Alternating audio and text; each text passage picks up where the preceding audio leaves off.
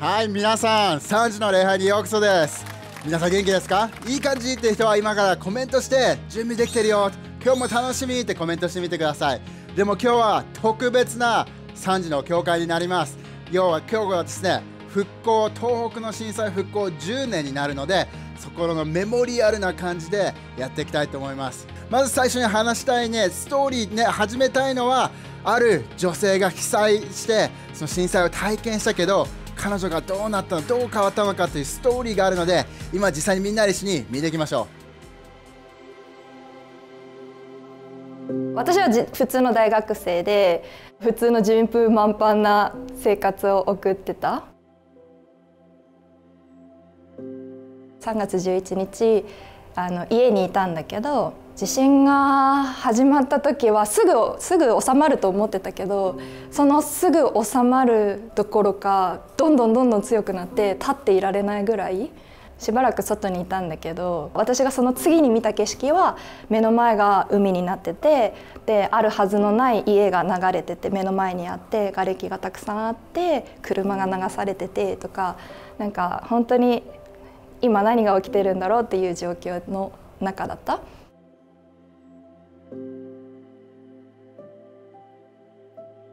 母親とは連絡が取れなくてでもどっかで絶対生きてるってどっかには絶対いるってその希望は持ってた。あっち探してこっち探してってしても手がかりが見つからなくてその持ってた希望が疑いになってそのその時っていうかその母親が母親に会えないって思った瞬間にあ自分は家がなくなって母親が心の頼りにしていた母親がいなくなってもうどうどうやって生きていくんだろう私ってすごい絶望的だった。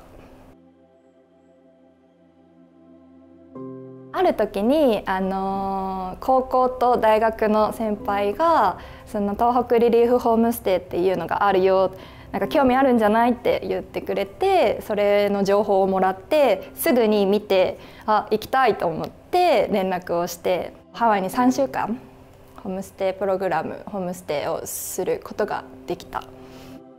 教会がホストしてくれて英語は全然私はよく分かってなかったんだけどでもなんか歌ワーシップを聴いてる時にあのその英語が分からないながらに愛とか希望とか喜びとか平安とかなんかそういう単語が私の心の中にスッて入ってきて気づいたら号泣してました。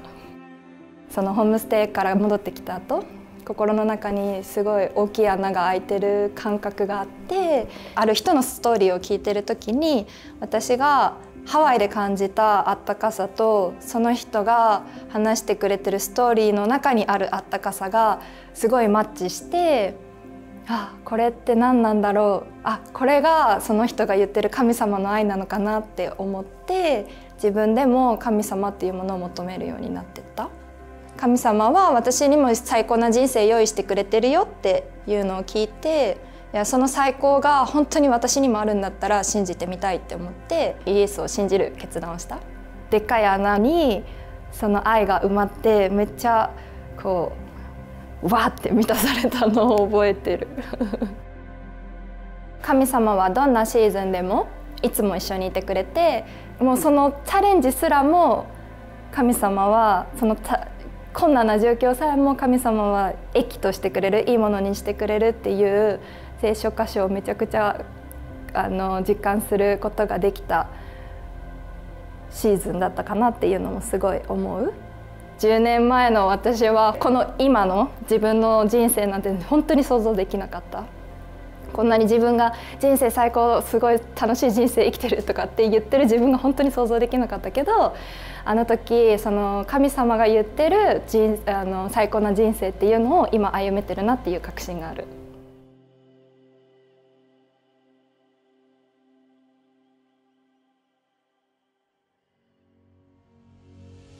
いやもう素晴らしいパワフルなストーリーだよね。ルミ本当にシェアしてくれてありがとう。でも本当に信じてるのはルミの人生神様がすごい大きいことをするということ。海を通して多くの人が希望をね見つけるということを確信してる。でも今みんなで一緒にやりたいのは今東北そのね震災を経験した方々のためにみんなで一緒に祈っていこう。ねイエス本当にありがとう。10年経つけどまだいろんな状況の人の中でいると思う。でもそこの中で今日のメッセージを通してもそしてこれからもあなたの存在が近くにあるようにそしてルミの人生が変わったように多くの人があなたに希望を見つけるように平安を見つけるように癒し自由を体験できるようにあなたにしかできないことを東北のエリアでも、ね、このような光となるように希望を与えてください。イエスの最高の名に祈ります。みんなで一緒に。エイメンねコメントにも実際に今エイメンとかね応援してるよ祈ってるよって伝えてあげてください。いやでもね今日ぜひみんなに本当に伝えたいメッセージ。それが今日のタイトルです。ドゥルン。希望よ湧き上がれってメッセージです。ねでも今日みんなにぜひゲットしてほしい。神様から来る希望をゲットしてほしいんです。なんでかというとあなたにも希望はあるから人生に希望があるからあなたにも前に進めるきっかけがあるからっていうことでメッセージしたいんです。聖書の中でもすごい希望を見つけたかったで希望を探した女性がいるんです。それがルカの8の43から48のストーリーなんだけど、ね、このストーリーの中にはミラクルが起きたんです。みんな今日も奇跡信じてますか？奇跡信じてるのはちょっと信じてるってコメントしてみたり希望が欲しいなら希望が欲しいってコメントしてみてください。ね、でもここのストーリーの中ではある女性が12年間悩み続けた病気、ね、があったんです。それは血が流れ出てしまうってことだったんです。いろんなものを試したけどいろんな先生に見てもらったけど一向によくならない。でも彼女はある日グッドニュースを聞いたんです、ね、今日見てるそれかもしれない。グッドニュースを探してるっていうことはねあるんだかもしれない。でも今日あなたに伝えたい。グッドニュースは来てますよ。なんでかというと彼女の女性にもグッドニュースが来たんです。それはイエスが自分の町の近くに来るということだったんです。それが43から48のストーリーなんです。彼女はこういうふうに悩まされたからもしイエスのところに行ってイエスの着物に房にさえ触れれば癒されると思ったんです。でそんなところでイエスに触った途端彼女はなんと出血が止まったんです。でそしてイエスは言ったのは私に触ったのは誰ですか？なんかいっぱい人がいるんだけど触られたんですけど自分の着物を触ったんですけど誰ですかって言った途端みんな笑い出したんです。何を言ってんの？こんないっぱい人いるのに満員電車の中で誰を触ったのって言うみたいなもんですねもうみんな触ってる。ぎゅうぎゅうだし。でもイエスは言ったんです。いや誰かが触ったんだよ。力ができていくのを感じたんだからでそしたらその女性はイエスが全て分かっていてくれてる。イエスが全て自分のことを分かっていてくれる、ね、今日あなたにとってそれを聞く必要があるかもしれない。誰が自分のことを気にかけてくれてるんだろう。こんな状況誰にも自分のことは気にも留めてくれないよね。どうでもいいんだよな自分の存在って思ってるかもしれない。でもあなたに伝えたい。イエスは神様はあなたの全てを知ってくれていてあなたを助けたいと思ってるんです。ねそしてこの女性はとても隠しきれないと知ってイエスの前にひれ伏して私が触ったんです、ね、良くなったことを伝えたんです。包み隠さず打ち明けたんです、ね、そしてイエスが彼女に伝えたのはあなたの信仰があなたを治したんですよ。安心して帰ってくださいって言ったんです。ね、ここも素晴らしいパワフルなストーリーだと思います。ね、この女性っていうのはいつも困難に直面していた。いつも希望がなかった。何か壁があるように感じていた。ね、その中でも彼女は希望をこの日見つけたんです。生きるという希望を見つけたんです。で、この12年間もうお先枕も何も考えられないということだったかもしれない。でもこの日イエスに出会って彼女はイエスに触れられて、彼女は初めてかもしれない。明日のこと、その先のこと、将来のことを考えられるようになったんです。それもなんでかというと、イエスに出会ったからなんです。イエスに希望を見つけたからなんです。もう拍手していきましょうよ、これは。で、だから1ポイント目でみんなにね、励ましたいのはこれなんです。なんとか大丈夫っていうよりかは、もっといい状態になるよっていうことです。もう、 all right じゃないんです。 great、good、better になるって感じなんです。どういうことかわからないんですけどね、どういうことかというと、この女性も長年悩まされてたことがあるんです。で、彼女は多分、お医者さんに行くたびに、あ、今回は、ね、ここに見せに行って違ったいいお医者さんがいるよって言って見せに行っても良くならない。大丈夫に良くなりたい。この状態をどうにかしたいのにって思い続けてたと思います。ね、でも想像できるみんな。12年間長いですよね。でもここの彼女にも言えるのはもしかしたらこれって彼女どうにもできないよね。だって病気になったのって自分のせいじゃなかったかもしれない、ね、何かこのどうにも自分のコントロールできない自分の力ではどうにもできないような状況だったかもしれない。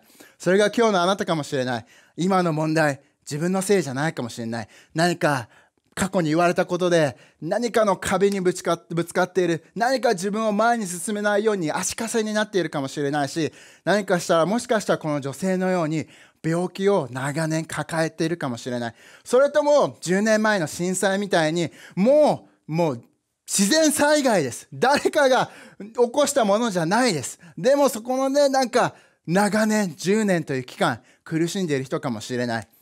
ねでもあなたを励ましたい。今日あなたはその壁、そのチャレンジ乗り越えられるんです。あなたは乗り越えるものに今日なるんです。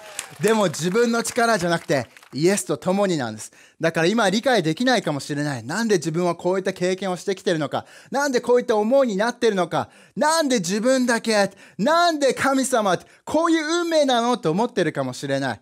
でもどんな体験をしてこようが、あなたの人生、今日、180度変わるチャンスがあるということです。今日あなたの人生、何かがひっくり返るチャンスがあるということなんです。ローマの8の28も自分すごく大好きなんです。ローマの8の28、好きな人いますか？好きな人、パチパチ今してみてください。でもそこで神様が言ってるのは、神を愛し、神の計画のうちに歩んでいる人のためには、その身に起こることは全て神が益としてくださるのを知っているのです。書いてあるんです。ね、だからもちろん、悪い経験、人生の中でも、あんまり思い出したくない経験、傷とか痛みはあるかもしれない。で特に震災っていうのはすごいもう心が痛むような自分の家族を亡くしてしまった友達を亡くしてしまった家を亡くしてしまったそういった人たちは見るかもしれないでもその中でその体験いい体験ではもちろんないですでもここで神様が言ってるのはそういった出来事もイエスと一緒にイエスを愛して信頼し続け進み続けるならそれは何か自分の益になるということ、ね、だからこそルミのストーリーもそうだったと思います。そん間違いなく辛いストーリー。でもそれを通して今彼女は伝える場になっている、ね、何かそのメッセージイエスのことを伝えて人を励ます存在になっているということなんです。だから過去の経験したこと、バットのままで終わらなくてもいいんです。悪い経験のままじゃなくてもいいんです。イエスもちろん自分の手ね、力だけだったら悪いものになっちゃうかもしれない。でも、イエスと一緒にそれを乗り越えた時、悪いという、ね、状況は変わらないかもしれない。変えられないものです、過去は。でも今日、将来を、ね、見た時に、その経験っていうのは、いい経験、いい経験で言ったらダメだね。乗り越えた経験によって人が励まされる、自分の人生に生かされる経験になるはずです。ね、ユースのね、ある子のストーリーも自分は好きなんです。彼自身もその震災を体験して、その中で彼がね、いつも言ってくれたことがあったんです。もちろんそこで体験したのは辛かった。ね、何か失ったものも多かった。でも学んだことがあったんだって。それは感謝をすることを忘れないということ。毎日毎日生きてる意味をかみしめながらありがたく神様に感謝しながら生きることができるようになった。そして何か人に伝えるっていうのを躊躇するのをやめたって言ったんです。なんでかというといつか伝えようと思ってたらそのいつかが来ないかもしれない可能性があるというのを学んだから。だから彼と会うためにいつも言ってくれるんです。愛してるよ。まさし愛してるよ。いつも祈ってるよ。いつもありがとうっていうその行動に移してくれるように。ね、いつも何かをしてくれるんです。でもそれっていうのは彼が体験してきたものを神様がどんどんどんどん変えてくれてそこの中で人生の生きがい人生のそういったもっとねそういうふうに人を引き上げる。そういう目標ができたからなんです、ね、だからあなたのストーリーあなたの同じようなことを通っている人がいるかもしれない。でもイエスと一緒に乗り越えた時このね12年間流れ地の人が乗り越えたように今日考えられるだってみんな10この何千年前にイエス2000年以上前にイエスによってこの癒された人のストーリー。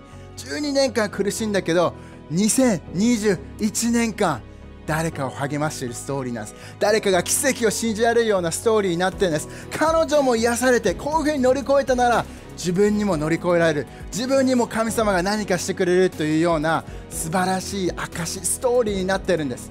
で神様はそれをあなたにも用意してそしてあなたのストーリーも駅に変えてくれるということです。神様が編み込んでくれているということですね。最高じゃないですか皆さん。で2つ目に注意で励ましたいのはみんな今励まされてますか？希望にあふれてますか？でも2つ目に言いたいのはどんな状況でもイエスと過ごすその一瞬イエスの一言で全てが変わるということです、ね、今じゃ想像できないかも。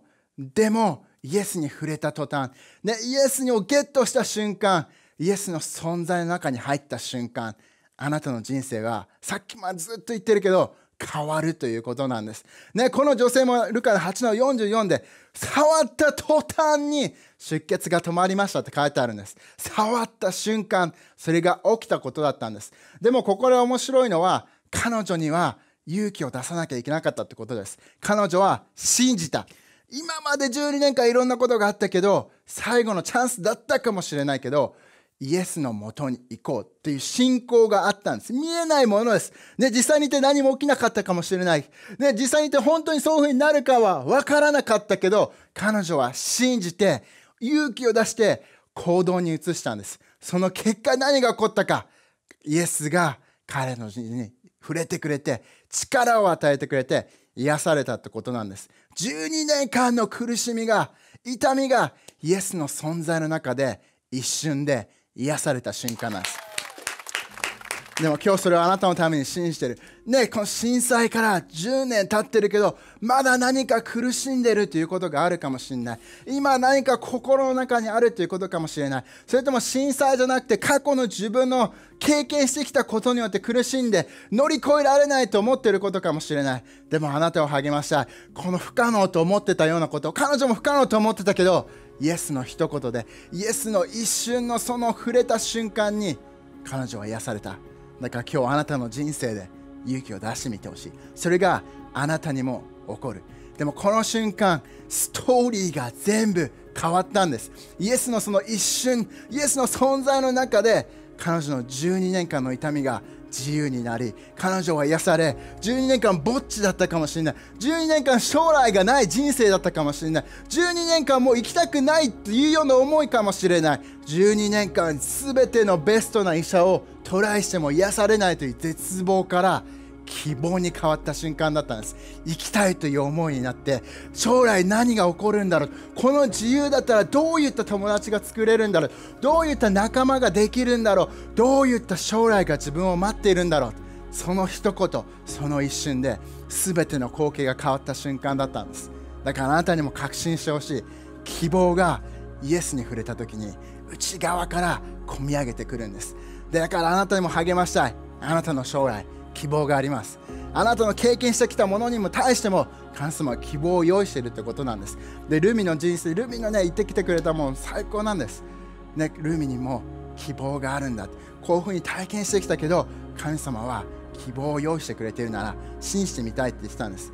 じゃあじゃあじゃあねどうしたらいいんだって思うじゃん。イエスに触れるって何したらいいのって。実際にどういったアクションをしたらいいのって。そんなあなたを励ましたい。シンプルでいいからこの聖書の言葉今こう話していいなって思ってることかもしれない。それを心に入れてみてほしい。それともイエスがこういうふうにしてくれるんだったら自分も信じてみたい。12年間の人がこういうふうに治って癒された、ね、またはルミの人生が変わったように自分も神様がしてくれるなら信じてみたい。そう思うことで十分なんです。だから他のものじゃなくてイエスに希望を置いてみて、ね、それが今日俺たちにとってイエスに触れるっていうことかもしれない。イエスのところに勇気を持っていくっていうことかもしれない。ルミも言ってたよね。希望という言葉だったり平安という言葉みたいのがスッと入ってきたと。それはルミにとってはワーシップを通して音楽を聴いてる時に心に自然と入ってきたって言ってた。だから今日もあなたも励ましたい。すっと自然に心に神様の言葉イエスの言ってることを入れてみてほしい。大丈夫ですか？で最後に言いたいのはもしフラッシュバックが来たらこうフラッシュバックが来たらフラッシュバックのことをグーパンチしてあげてください。イエーイじゃあグーパンチの絵文字をね今ねやってみてくださいね。でも多分フラッシュバックっていうのは来るかもしれない。ね、それで過去の経験した経験してきたことがまたなんか頭の中でそれが自分のようにそれとも悪夢のように返ってくるかもしれない、ね、自分も2月13日ですね。この前すごいまた地震があったんです。そこの中で自分も恐怖を感じた、ね、自分は実際に東北にはいなかったけど、ね、関東の中でもすごい揺れがあった、ね、そしてまた何か大きい揺れがあった時に正直言うとね、怖かったんです。ね、ユキとかが、ね、一緒に、ね、奥さんと一緒に家にいながら、急に夜の11時過ぎに揺れ始めた。ね、普通、ああ、大丈夫かなと思ったら、けど、え、ちょっと長くない？え、結構揺れすごくない？え、机の下入った方がいい感じ？で逃げながらテレビやばいじゃんどうしようどうしようってもうパニックだったんです。でそして頭の中も全部ね、その10年前のフラッシュバック。またああいう風になってしまうんじゃないか。またこういう風になってしまったらどうしよう。どうしようどうしよう。で恐れがいっぱいになってたんです、ね、でもそんな時に、ね、自分も思ったのは実際にでも経験してる人たちはどうなんだろう。東北のみんなは今どういう状況なんだろう、ね、そして東北だけじゃなくて震災を経験している人がいっぱいいます。熊本であったり、ねね、あの阪神大震災であったり、ね、そしてもいろんな災害が世界中にはある。ね、そして自分が、ね、災害じゃなくてクリスチャンになる前のフラッシュバックがあるかもしれない。でもそんなあなたに確信してほしい。そういったものになったって襲われた時にこの2つの聖書箇所めちゃくちゃパワフルだからこそこれと一緒に戦ってみてほしい。1つ目はまず祈ってみてほしいということ。それがピリピの4の6の7に書いてあること。何事も心配しないでどんな時でも神に祈りなさい。そうしたら祈りに応えてくれる神に感謝しよう。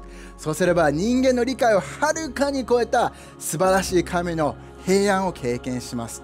その平安はあなたがの心と思いを鎮め安らかにしてくれる、ね、これがねフラッシュバックで襲われた時に平安が一番必要だけどもうどこから来るか分かんないじゃん。でもそんな時シンプルに神様助けて神様平安ちょうだいフラッシュバックはもういらないから希望をちょうだいシンプルに乗った時に人間じゃ理解できないはるかに超えた素晴らしい、ね、平安をあなたにくれると思う。だからシンプルでいいから助けてって祈ってみて。で2つ目はニコリトの5の17ここ自分も大好きなところ。誰でもクリスチャンになると内側が全く新しくされます。もはや今までと同じ人間ではありません。新しい人生が始まったのです。書いてあるんです。あなたの人生イエスと共にいるならもう新しいものなんです。過去の自分今のあなた全く別物なんです。だから過去でしてきてしまったもの過去に言われてきたもの、ね、何か間違いかもしれないし失敗っていうのはもうあなたを引き戻す力はないんです。なんでかというともう別人だから。でも力が働いちゃう時っていうのがあるんです。それはいつかっていうとあなたが握りしめちゃう時。その声とかそのフラッシュバックに力を自分で与えた時に自分の心だったり、ね、将来に対する見方っていうのが影響してきちゃうんです。でもすごくパワフルなのがこれがイエスが十字架にかかってくれて復活した時の力なんです。全ての悪いものをイエスは俺たちのために十字架にかけて死んでくれた。でも3日目によみがえって今も生きている神様。ということはだよ。そういった悪い経験とか悪い声とかそのネガティブなささやきだったりそういったフラッシュバックっていうのはもう力がないんです。それより力があるもの。それがイエス。でそしてそのイエスはあなたと共にいてあなたと戦ってくれていてでそこにもう力がないように真っ二つにもう別人のようにね切ってくれているんです。だから信じてほしい。そこに力を与えられるんじゃなくてイエスの力を信じてあなたはもう新しいから。それは過去の自分とあなたはもう違うから。この聖書箇所を使ってそういった声だったりマインドのねバトルっていうのを戦ってみてほしい。でもイエスによってあなたはもう新しくされたよ。大丈夫ですか？信じてますか？皆さん。ねだからタフで感情でアップダウンもあるってルミも言ってた。自分もあります。そういったフラッシュバックが来ちゃう時もある。でもイエスによって力を言葉を握りしめていこう。イエスによって希望をまた内側からやっていこう、ね、そして次の日もその1週間後も楽しみになると思うから。今じゃ真っ暗だと思うかもしれない。でもイエスの希望が心から自然と湧き上がってきた時にあなたの将来にも絶対に明るい将来明るい希望生きたいという思いが生まれてくると思うから大丈夫ですか？確信します。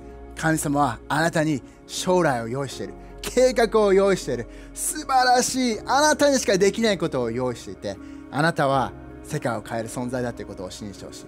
乗り越えるものですよあなたは。ここの中で何かもうってもがいてるだけじゃない。あなたはイエスと一緒に乗り越えてそこの力でみなぎって、ね、そしてこのストーリーを通してあなたのストーリーを通して人々を励ます存在になると思います。だから今日最後にみんなのために乗りたい。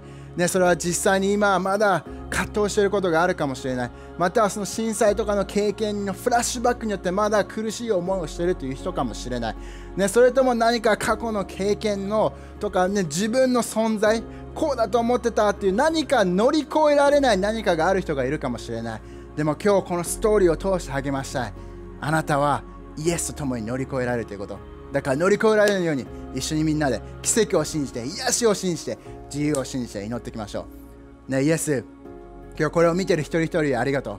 ね、そして今一人一人の何か葛藤があるかもしれない。乗り越えられないというものがあるかもしれない。それが過去のフラッシュバックだったり、ね、昔からの、ね、患ってる病気かもしれないし体調の問題かもしれないしそれとも目的のなさとか自分の価値がなのなさだということかもしれない。でも全ての嘘を今イエスの名によって沈めてそしてこの瞬間イエスの名によって癒しがあるように希望が湧き上がるように将来を見せて、ね、そして一人一人が自由になって素晴らしいストーリーを話すような存在となるように全ての人の心の中に今平安を与えてイエスの最高なんて祈ります。みんなで一緒にエイメン。拍手していきましょう。素晴らしいですね皆さん。乗り越えられますよあなたなら。イエスが一緒にいるからやればできる、はい。ね、で最後に祈りたいのは今日これを見てイエスを信じてみたいと思ったのかも。ルミのストーリー人生が大変なものはあった。でもイエスが変えてくれたなら自分のストーリー自分も変えてみてほしい。それとも12年間苦しんだこの女性のようにイエスと出会った時癒しがあって奇跡があって、ね、そこの中で新しい人生が始まったなら自分も試してみたい。または戻ってきたいと思う。それがあなたなら今日3、2、1って素早く数えてからシンプルにあなたのために祈らせてほしい。大丈夫ですか？でも自分で分かってるはず。自分の力じゃもう変われない。もう限界だ。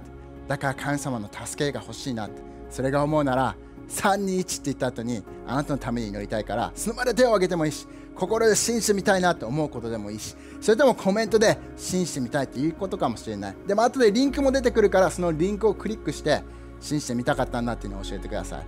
数えますよ。321今それがあなたなら何らかの行動をとってみて手を挙げる信じるって心で思う戻ってくるってことかもしれない。または下のリンクをクリックしてみてシンプルにあなたのために祈ります。イエス本当にこういう一人一人をありがとう。